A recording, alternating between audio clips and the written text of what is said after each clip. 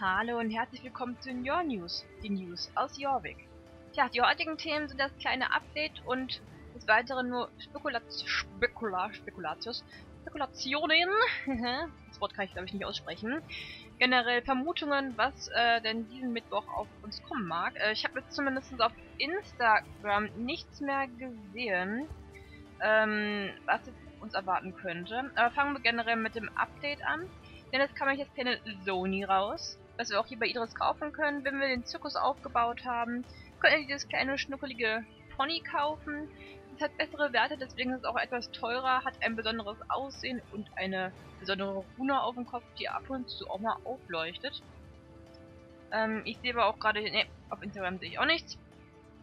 Ähm, das war's eigentlich relativ schon. Ähm, gut, der Pferdemarkt so ein paar Pferde versetzt, wie es zum Beispiel das Shire und ich glaube ein friesisches Sportpferd, die mit einem Balken aufgespießt wurden, überhaupt nicht jugendfrei.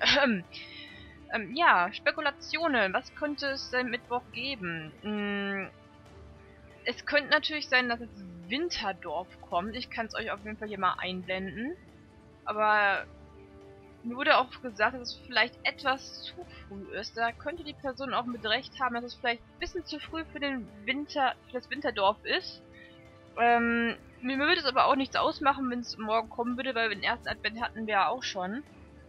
Ähm, es könnten wieder ein Lückenfüller kommen, es könnten Quests kommen. Ich kann einfach jetzt gerade echt nur raten, weil ähm, da ist jemand jetzt zumindest noch nichts gepostet und ich habe jetzt extra das heute mal gewartet.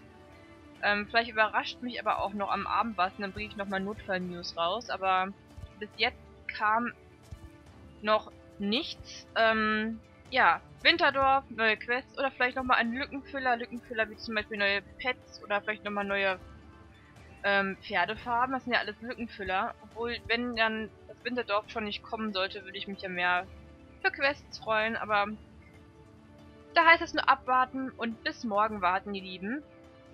Tja, das waren schon die Jorvik News. Ist heute ein bisschen kleiner ausgefallen. Vielleicht erwartet uns ja doch noch, äh, ja, ein kleiner Teaser oder vielleicht eine kleine Ankündigung von SSO selber. Dann, ähm, nehme ich auf jeden Fall nochmal Jorvik News auf. Aber dann sage ich auf jeden Fall, ihr Lieben, wir sehen uns morgen zum Update. Macht's gut und bis zum nächsten Mal. Ciao.